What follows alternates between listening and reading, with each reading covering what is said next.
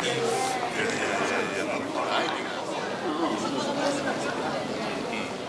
は本日のご参加にそしてこのパーティーの開催のために賜りましたご協力にそして日頃賜りますご支援にご指導に心から感謝を申し上げます本当に皆さんありがとうございます。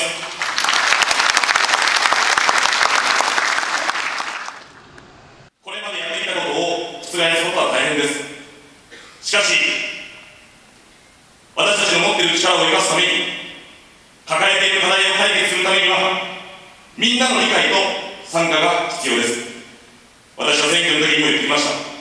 一人の100歩よりも100人の一歩一人が生き立って頑張っているだけではこの国は良くならない。マスコミに動かされて好き勝手言ってるだけではこの国が沈んでしまう。が住んでいる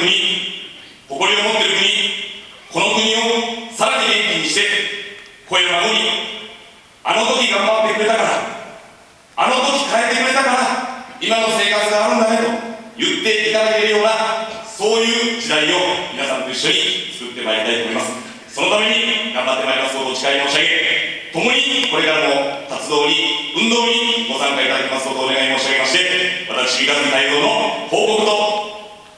決意と感謝のご挨拶に返させていただきます。ありがとうございました。共に頑張りましょう。